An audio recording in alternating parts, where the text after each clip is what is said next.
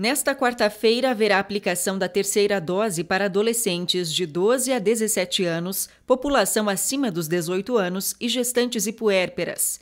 Também aplicação da quarta dose para pessoas acima de 18 anos, trabalhadores da área da saúde e imunossuprimidos acima de 12 anos que realizaram a dose adicional.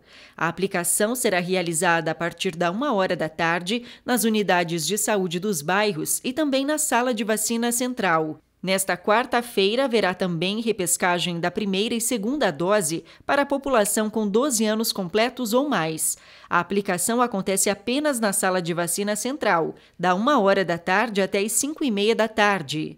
Na quinta-feira, haverá aplicação da primeira dose da vacina para crianças de 5 a 11 anos. Também repescagem da segunda dose dos laboratórios da Pfizer e Coronavac. Será apenas na sala de vacina central, das 7 e meia da manhã até as 5 e meia da tarde.